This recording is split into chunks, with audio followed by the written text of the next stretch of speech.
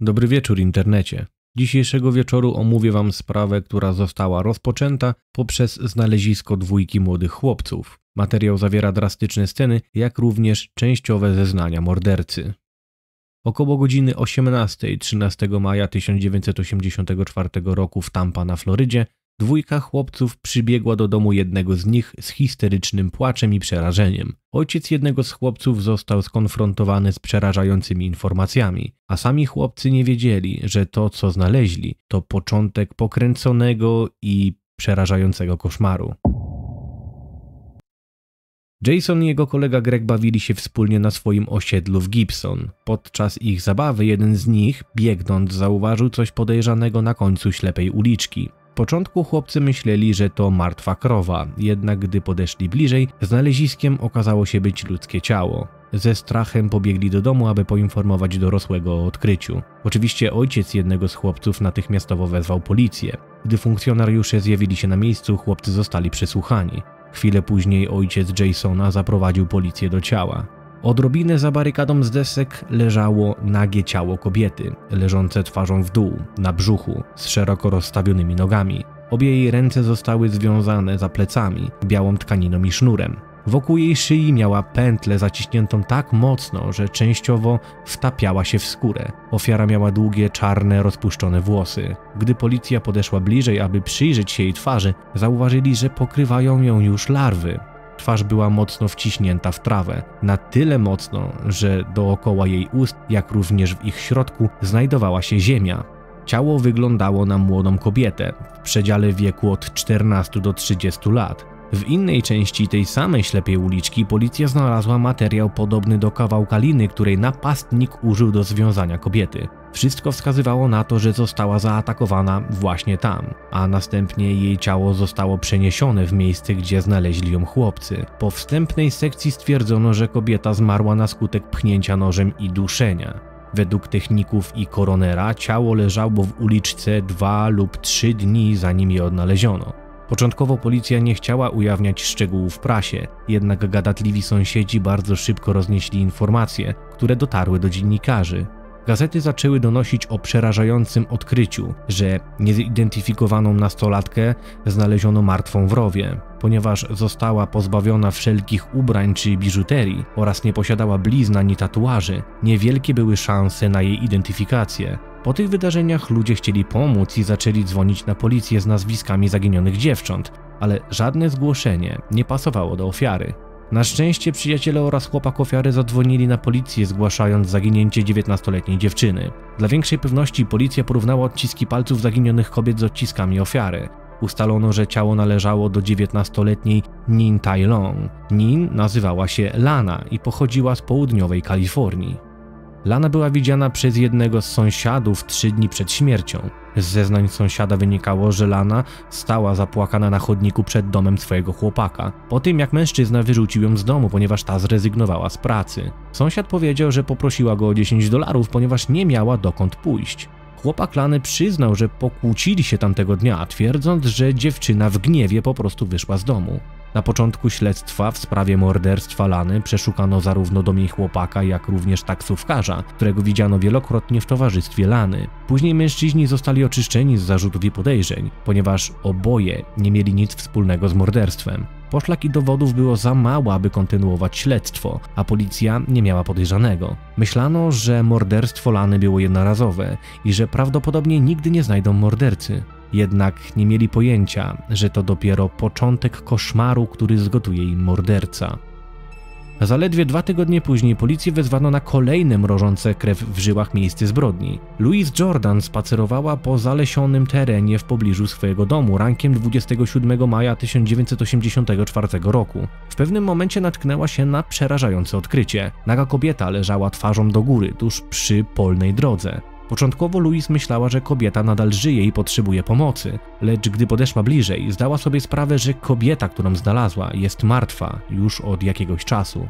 Kobieta szybko wróciła do domu i zadzwoniła na policję. Louise przekazała funkcjonariuszom, że cały czas chodzi tamtejszą ścieżką, a nawet dodała, że była tam dwa dni wcześniej, ale wtedy ciała tam nie było. Ciało było w podobnym stanie co Lana, lecz z lekka się różniło. Ręce kobiety były przywiązane do jej talii, na szyi miała pętlę. Zielona koszulka była owinięta wokół jej ramion, aby je związać. Ciało miało na sobie rany cięte na szyi i głowie. Wyglądała na nastolatkę.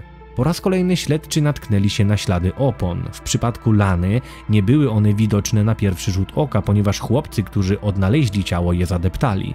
Niedaleko policja odnalazła pojedynczy odcisk buta, a w krzakach obok znaleźli biały kombinezon ze śladami krwi. Policja uznała, że morderca czerpie przyjemność nie tylko z mordowania, znęcania się i torturowania ofiar, lecz również odnajduje przyjemność w pozostawianiu zwłok w dziwnych i kreatywnych okolicznościach i miejscach. Podczas sekcji zwłok lekarz sądowy nałożył na ciało specjalnie wzmacniany klej, próbując zdjąć w ten sposób przypuszczalnie ukryte odciski palców. Niestety nie przyniosło to żadnych rezultatów. Kobieta została pięciokrotnie uderzona w głowę tępym przedmiotem, co spowodowało rozległy wstrząs mózgu. Jednak przyczyną śmierci było podcięte gardło. Potwierdzono także krwotok wewnętrzny i obszerne rany w miejscu klatki piersiowej. Pomimo podobnych sytuacji i obrażeń, policja początkowo nie przypisywała tych morderstw do jednego człowieka. Śledztwo rozpoczęło się od setek przesłuchań, a wszystkie miały na celu ustalenie, czy ktokolwiek mógłby rozpoznać ofiarę. Zebrano kilka informacji, z których wynikało, że ofiary widziano tuż przed śmiercią w pobliżu kilku miejscowych barów. Początkowo nikt nie mógł rozpoznać ciała, jednak na policję zgłosiła się inna kobieta pracująca jako prostytutka. Okazało się, że ofiara była przyjaciółką owej prostytutki. Wyszło na jaw, że obie pracowały razem w sobotę, dzień przed znalezieniem ciała. Kobieta była pewna, że ofiara umówiła się z kilkoma klientami i że odezwie się dopiero po weekendzie. Po raz kolejny policja dla większej dokładności sprawdziła odciski palców, które potwierdziły, że ciało znalezione 27 maja należało do 22-letniej Michelle Sims. Kobieta brała udział w konkursach piękności, zanim przeprowadziła się na Florydę. W czasie, gdy została zamordowana, pracowała jako recepcjonistka i czasami dorabiała jako masażystka. Na ciele Michelle znaleziono drobne kawałki czerwonego włókna, które kobieta miała wplecione we włosy. Co ciekawe, Lana również została sprawdzona pod tym kątem i w jej włosach również znaleziono czerwony materiał. Obie próbki wysłano na testy do agencji FBI i szokująco próbki do siebie pasowały. Był to ten sam materiał, który pochodził z tego samego nylynowego dywanu. Oczywiście po tym odkryciu policja zdała sobie sprawę, że prawdopodobnie mierzą się z seryjnym mordercą.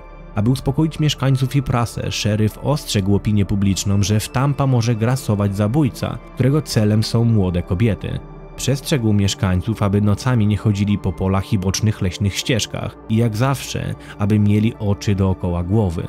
Miesiąc później, 24 czerwca 1984, mężczyzna o imieniu Ronnie Barnes pracował w sadzie pomarańczowym, gdzie właśnie kończył kosić trawę. W pewnym momencie zauważył parę tenisówek wystających spod drzewa pomarańczowego. Niedługo potem zadzwonił na policję i powiedział, że znalazł coś przerażającego. Policja była pewna, że i tym razem chodzi o tego samego mordercę. Wysłano patrole policji, które podzieliły się na dwie grupy.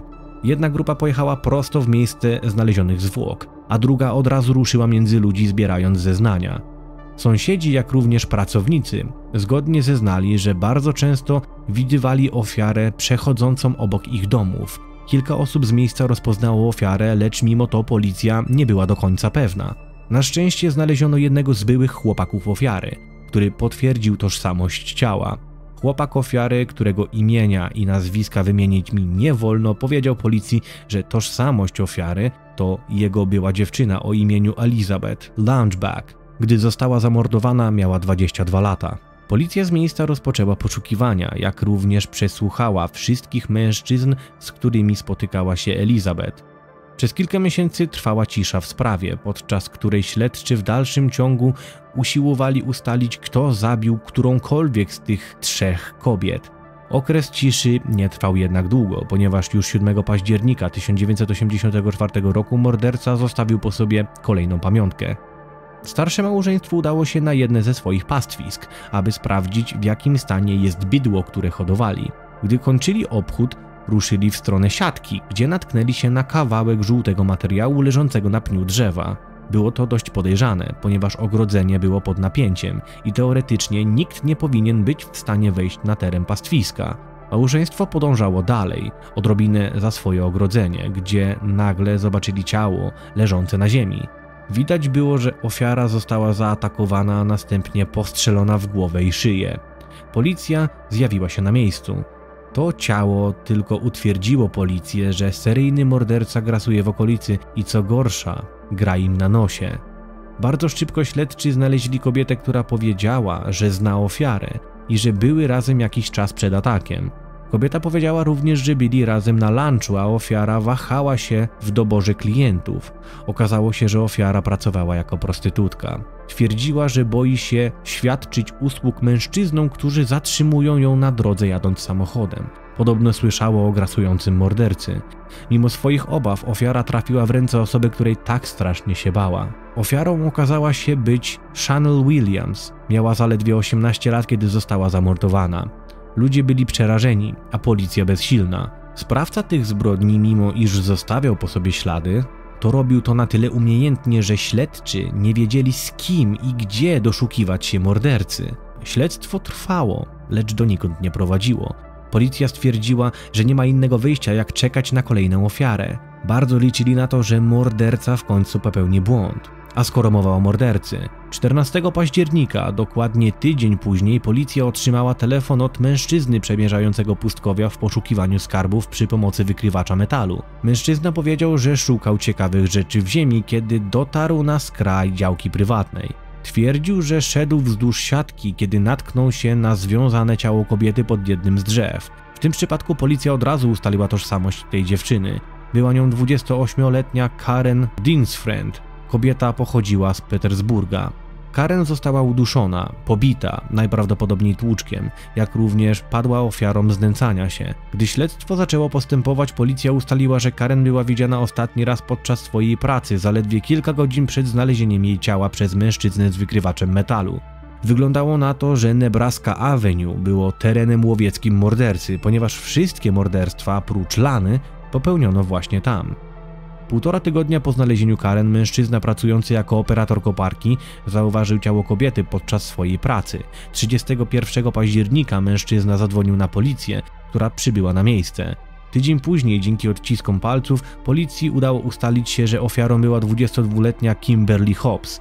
O samej Kimberly nie wiadomo zbyt wiele, prócz tego, że ostatni raz widziano ją spacerującą z grupą młodych prostytutek, mniej więcej w połowie października.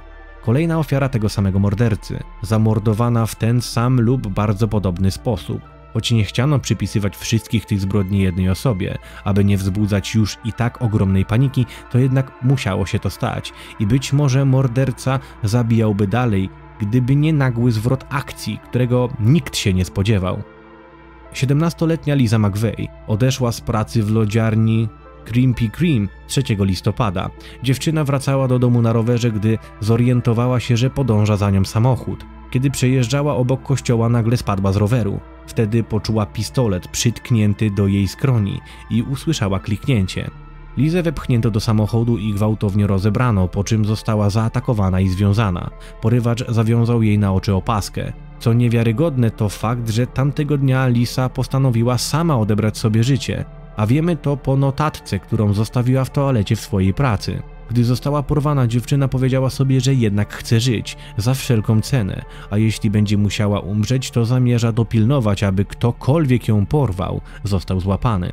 Lisa poczuła szarpnięcie, kiedy samochód ruszył z piskiem opon. Początkowo nie miała pojęcia, gdzie jedzie. Przy pomocy zębów udało jej się lekko zdjąć opaskę na oczy, co pozwoliło dziewczynie chociaż częściowo widzieć, co się dzieje. Dowiedziała się, jakim samochodem jadą jak mniej więcej wygląda porywacz i to, że jechali autostradą międzystanową na północ od Tampa. Liza zauważyła, że w samochodzie rozścielony był czerwony dywan. Zauważyła też napis na desce rozdzielczej i szerokie fotele w samochodzie. Po chwili została wyciągnięta z samochodu i zaprowadzona do mieszkania. Kiedy już znaleźli się w środku, poczuła zapach świeżo otwartej puszki farby. Porywacz pozwolił skorzystać Lizie z toalety, ponieważ ta w momencie porwania miesiączkowała i wszędzie zostawiała swoją krew. Dziewczyna upewniła się, że zostawia swoje odciski palców wszędzie, gdzie mogła.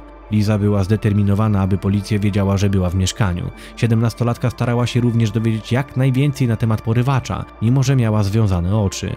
Nie wiedzieć dlaczego porywacz uniósł ręce Lizy, aby mogła dotknąć jego twarzy. Dziewczyna wyczuła rozległy trądzik, jak również wąsy i to, że porywacz miał małe uszy. Mężczyzna nie był jednak głupi i nie pozwolił, aby dziewczyna zobaczyła jego twarz. Mimo to Liza próbowała zapamiętać jak najwięcej szczegółów, które pozwolą zidentyfikować porywacza. Pewnym momencie porywacz okazał Lizie odrobinę życzliwości i umył jej włosy. Nakarmił ją, a gdy było zimno, dał jej szlafrok. Liza zdała sobie sprawę, że może wykorzystać to na swoją korzyść. Mówiąc krótko, Liza miała na tyle samozaparcia i odwagi, aby próbować wzbudzić sympatię i współczucie w porywaczu. Siedemnastolatka wymyśliła historyjkę o tym, że jest jedyną osobą opiekującą się chorymi rodzicami i młodszym bratem. Liza poczuła się nawet na tyle odważnie i zapytała, dlaczego porywacz zrobił jej co zrobił.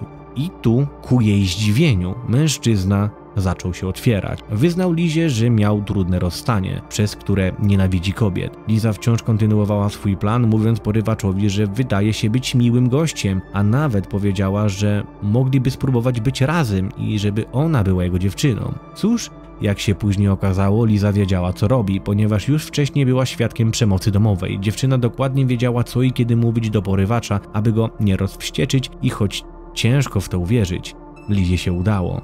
O czwartej rano, dzień po jej porwaniu, porywacz budzi związaną Lizę. Pyta ją wprost, co powinien z nią zrobić, a dziewczyna ponownie powiedziała, że może być jego dziewczyną, jeśli ten ją zechce. Porywacz kazał Lizie się ubrać, po czym zaprowadził ją do samochodu. Mężczyzna powiedział, że podrzuci ją w pobliżu jej domu, lecz najpierw zatrzymają się obok bankomatu. Lizie po raz kolejny udało się nieco poluzować opaskę, dzięki czemu była w stanie zauważyć szyld lokalnego motelu i sklepy. Dzięki temu wiedziała dokładnie, gdzie się znajduje. Porywacz przeprosił Lizę i wyprowadził ją z samochodu. Powiedział jej, że nie może ściągnąć opaski z oczu przez 5 minut. Wysiadając, Liza potknęła się o chodnik, a porywacz złapał ją w locie, zanim upadła. Chwilę później Liza usłyszała, jak porywacz odchodzi. Przerażona, że zmieni zdanie, zdjęła opaskę i zobaczyła, że stoi przed drzewem na cmentarzu, lecz porywacz zniknął. Liza czym prędzej udała się na policję. Funkcjonariusze podeszli sceptycznie do siedemnastolatki, ponieważ nie wierzyli, że naprawdę udało jej się zbiec z niewoli. Kiedy jednak czerwone włókna zostały znalezione na ciele Lizy, policja była przekonana, że dziewczyna faktycznie mówi prawdę.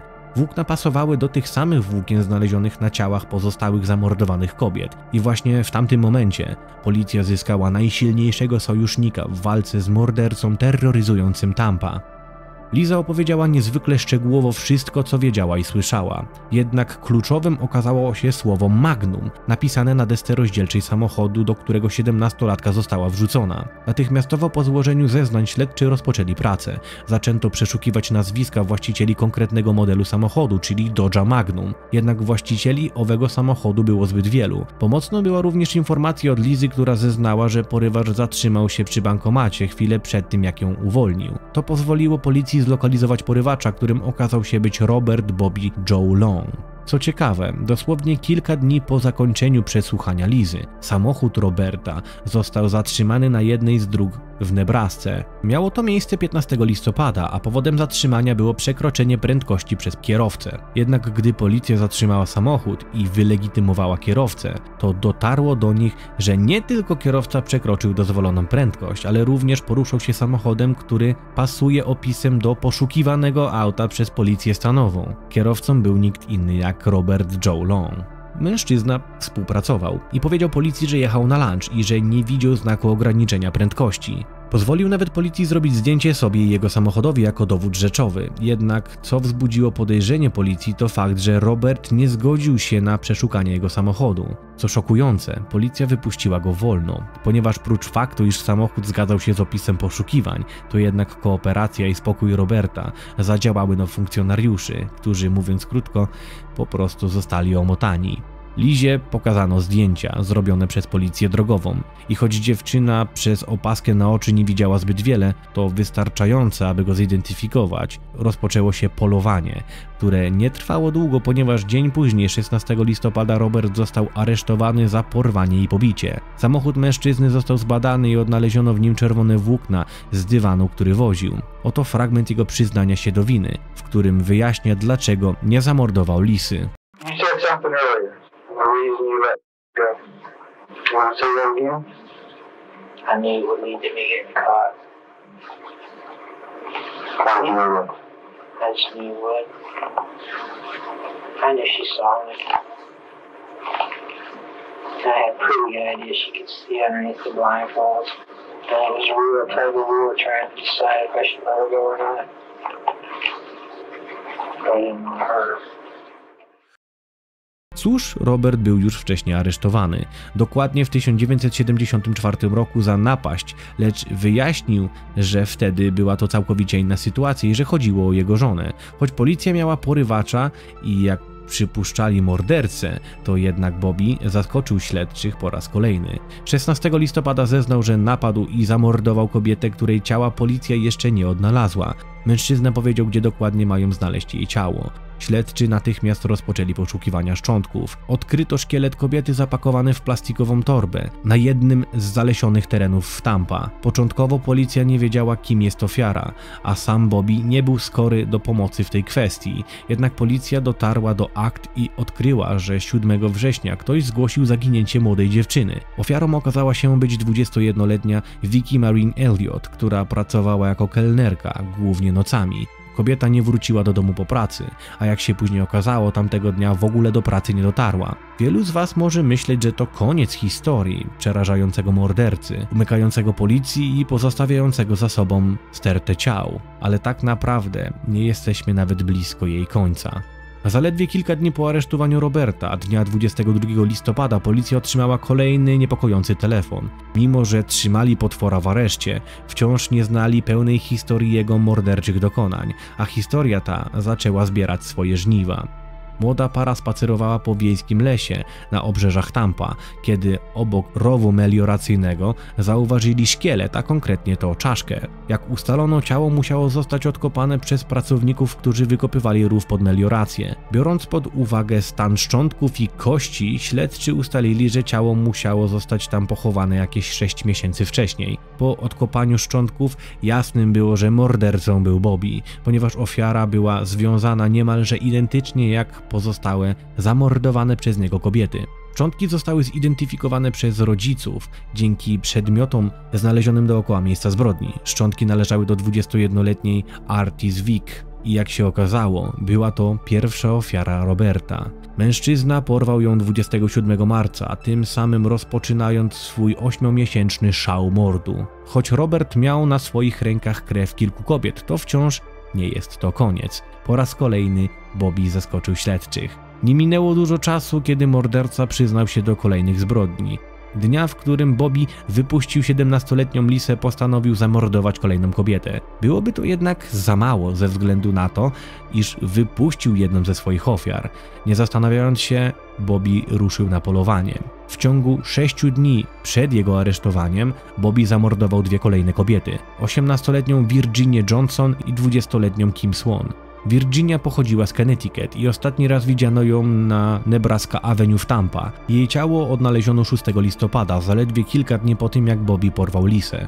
Kim natomiast była tancerką w klubie ze striptizem. Z zeznań świadków przed śmiercią kobiety ta postanowiła zmienić swoje życie i znaleźć pracę w biurowcu. Lecz i to z czasem się zmieniło, ponieważ dwudziestolatka zapisała się na kurs medyczny, aby w przyszłości stać się lekarzem. Robertowi przedstawiono dowody w postaci włosów ofiar i włókien pasujących do tych z jego samochodu. Robert z uśmiechem na twarzy przyznał się do zamordowania wszystkich kobiet. Mężczyzna przeszedł badania psychologiczne i zdiagnozowano u niego padaczkę skroniową, która która wywołała zmiany stanu świadomości mężczyzny. Z dalszych badań wynikało, że padaczka uruchomiła również dziedziczną psychozę dwubiegunową i maniakalno-depresyjną. Dwóch lekarzy badających mordercę potwierdziło chorobę psychiczną, lecz trzeci lekarz stwierdził, że nie widzi w Robercie nic, co potwierdzili jego poprzednicy. Ostatecznie Robert przyznał się do zabicia łącznie 10 kobiet. Robert został skazany na łączną liczbę 28 wyroków dożywocia, z wyjątkiem morderstwa Michelle Sims. Za to morderstwo został skazany na śmierć przez krzesło elektryczne. Po 34 latach spędzonych w celi śmierci 23 maja 2019 roku, tuż przed godziną 18.55, 65-letni Robert Bobby Joe został stracony na krześle elektrycznym. Z ciekawostek warto dodać, że nikt nie pojawił się w więzieniu, aby odwiedzić Bobiego choćby raz, a podczas egzekucji na widowni była widziana Liza McVeigh, która dodała, że chciała patrzeć mu w oczy w jego ostatnich sekundach życia. To właśnie ona, 17-letnia nastolatka doprowadziła doprowadziła do schwytania potwora Stampa, dziecko, które rozpoczęło łowy na seryjnego mordercę.